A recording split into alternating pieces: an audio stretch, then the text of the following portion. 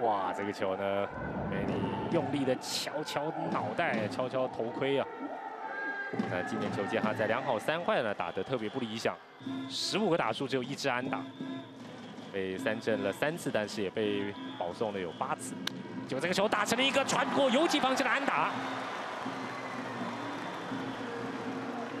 哇，今天梅尼厉害了，两次的打击都带有打点呢。前的打点数也已经破了三十分，也让意大利牛队连续两局都攻下了分数，现在来到了五比零。